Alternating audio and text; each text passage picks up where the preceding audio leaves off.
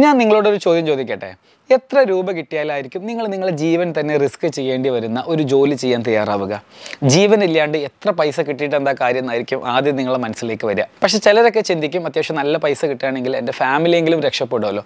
അങ്ങനെയാണെങ്കിൽ ഞാൻ ആ ജോലി ചെയ്യാം എന്നുള്ളത്. ഇപ്പം ഇത് പറയാനുണ്ടായ കാരണം എന്താണെന്ന് വെച്ച് കഴിഞ്ഞാൽ കഴിഞ്ഞ ദിവസം സോഷ്യൽ മീഡിയയിൽ ഒരു പോസ്റ്റ് കണ്ടു. എഴുപത്തിരണ്ട് മണിക്കൂറൊക്കെ ഭക്ഷണമൊന്നും കഴിക്കാതെ നമ്മുടെ പൃഥ്വിരാജ് ആടുജീവിതം എന്നുള്ള സിനിമയ്ക്ക് വേണ്ടി പ്രിപ്പയർ ചെയ്തിരുന്നത്രേ.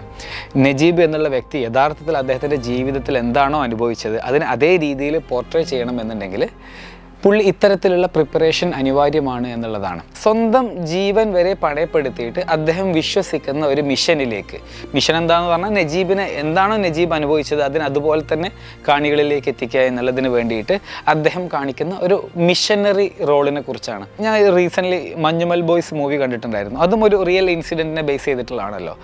ആ സിനിമയിൽ നമ്മുടെ സൗബിൻ ഷാഹിർ അവതരിപ്പിച്ചിട്ടുള്ള യഥാർത്ഥ കഥാപാത്രം അദ്ദേഹത്തിന്റെ ഫ്രണ്ടിനെ രക്ഷിക്കാൻ വേണ്ടി ആ കേവിലേക്ക് ഇറങ്ങിയ സംഭവത്തിലും കണ്ടു. അതിൽ തന്നെ ഒരു പോലീസുകാരൻ ഒരു കഥ പറയുന്നില്ലേ? മുൻപൊരു കേന്ദ്രമന്ത്രിയുടെ ഒരു ബന്ധു ഈ കുഴിയിലേക്ക് വീണിട്ട് പതിനഞ്ച് ലക്ഷം രൂപ അന്നത്തെ കാലത്ത് കൊടുക്കാമെന്ന് പറഞ്ഞിട്ട് പോലും ജീവന്റെ മേലുള്ള റിസ്ക് പേടിച്ചിട്ട് ആരും അതിലേക്ക് ഇറങ്ങിയില്ല എന്നുള്ളത്. അപ്പം അവിടേക്കാണ് ഈ സൗബിൻ ഷാഹിറിന്റെ കഥാപാത്രം ഫ്രണ്ടിനെ രക്ഷിക്കാൻ വേണ്ടിയിട്ട് ഇറങ്ങുന്നത്. സ്വന്തം ലൈഫിന്റെ മേലെയുള്ള റിസ്കോ ഒന്നുമല്ല അവർ നോക്കുന്നത്. അവർ നോക്കുന്നത് അവർ വിശ്വസിക്കുന്ന ഒരു മിഷൻ ഉണ്ട്. അതിന് വേണ്ടിയിട്ട് എന്ത് സാക്രിഫൈസും വേണമെങ്കിൽ ചെയ്യുക എന്നുള്ളതാണ്. ഇതിപ്പോൾ ഇങ്ങനെ നമ്മളൊന്ന് ആലോചിച്ച് നോക്കി. ഭക്ഷണത്തിന് വേണ്ടി ജോലി ചെയ്യേണ്ടുന്ന ഗതികേട് മനുഷ്യർക്ക് ഇല്ലാത്തൊരു കാലം നമ്മുടെ ടെക്നോളജി കാരണമൊക്കെ വന്നാലോ? Artificial intelligence robotics blockchain three D printing പോലെയുള്ള ടെക്നോളജികളൊക്കെ ഉണ്ടല്ലോ. ഇത് കാരണം ലോകത്ത് ഒരു അബണ്ടൻസ് ക്രിയേറ്റ് ചെയ്യപ്പെടുന്നുണ്ട്. നമ്മുടെ ഒരു ജീവിതത്തിലേക്ക് തന്നെ നോക്കുക. നമ്മുടെ ജീവിതത്തിന്റെയൊക്കെ നിലവാരം വളരെയധികം കൂടിയത് ടെക്നോളജി മൂലമാണ് എന്നുള്ള കാര്യം നമുക്ക് എല്ലാവർക്കും അറിയുന്ന ഒരു കാര്യമാണ്. അപ്പം അങ്ങനെയാണ് എന്നുണ്ടെങ്കിൽ ഓരോ പുതിയ ടെക്നോളജികൾ അതിപ്പോൾ ആർട്ടിഫിഷ്യൽ ഇന്റലിജൻസോ ബാക്കിയുള്ളതൊക്കെ ആയിക്കോട്ടെ. ജോലി ഇല്ലാണ്ടാകും എന്ന് നമ്മൾ അതിനൊരു നെഗറ്റീവ് സിനാരിയോയിൽ ചിന്തിക്കുന്നതിനേക്കാളും ഏറ്റവും നല്ലത് ജോലി ചെയ്യേണ്ടുന്ന ഗതികേട് മനുഷ്യർക്ക് ഉണ്ടാവില്ല എന്നുള്ളതാണ്. പല ആളുകളും ജോലി ചെയ്യുന്നത് ആ ജോലി ചെയ്യുന്ന ഇപ്പോൾ ഒരു പെർട്ടിക്കുലർ കമ്പനിയിൽ ജോലി ചെയ്യുകയാണെങ്കിൽ ആ കമ്പനി ചെയ്യുന്ന എല്ലാ കാര്യത്തിലും മിഷനറി റോൾ ഏറ്റെടുത്തിട്ടൊന്നുമല്ല.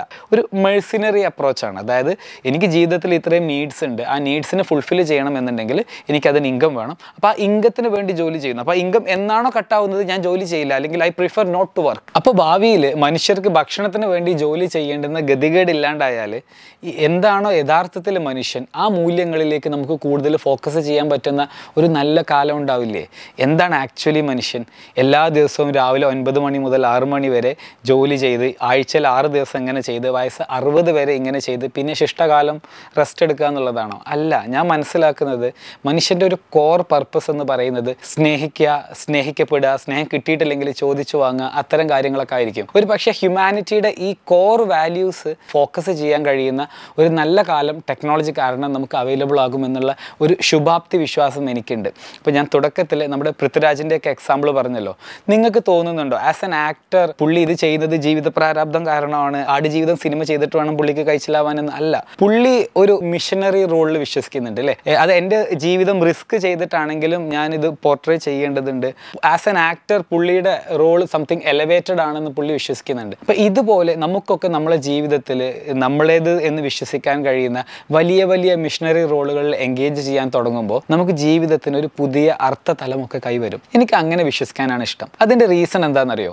നമുക്ക് ശ്വാസം എടുക്കാണ്ട് പോലും കുറച്ച് നേരമൊക്കെ നിൽക്കാൻ കഴിയും. പക്ഷേ ഹോപ്പ് ഇല്ലാണ്ട് ഒരു നിമിഷം പോലും ജീവിക്കാൻ കഴിയില്ല. അപ്പോൾ ഇതുവരെ വന്നതെല്ലാം നല്ലതിന് ഇനി വരാനിരിക്കുന്നതും നല്ലതിന് എന്നുള്ള ഒരു ഒപ്റ്റിമിസ്റ്റിക് സിനാരിയോയിൽ വിശ്വസിക്കാനാണ് എനിക്കിഷ്ടം.